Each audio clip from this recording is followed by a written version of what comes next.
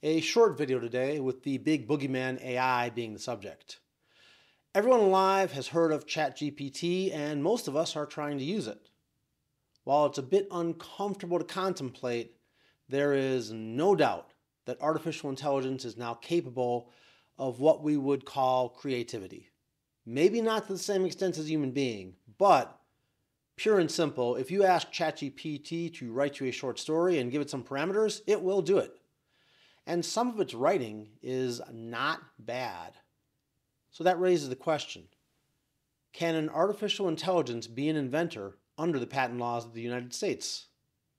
There is actually a binding appellate court decision that is on point on this issue. That case is Thaler v. Vidal.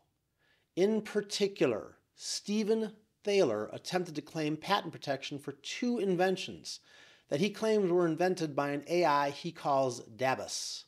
The PTO decided that both applications lacked a valid inventor, and Mr. Thaler sought judicial review of the PTO's decision under the Administrative Procedure Act.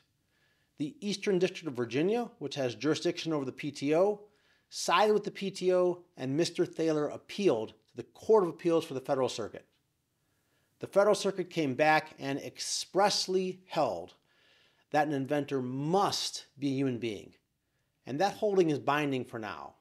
However, and somewhat notably, the record of Thaler v. Vidal lacks any discussion as to what Dabus actually is and how it actually did the inventing. So, at least for now, an AI cannot be an inventor in a patent application. That could change in the future. I hope this was helpful. Have a great day.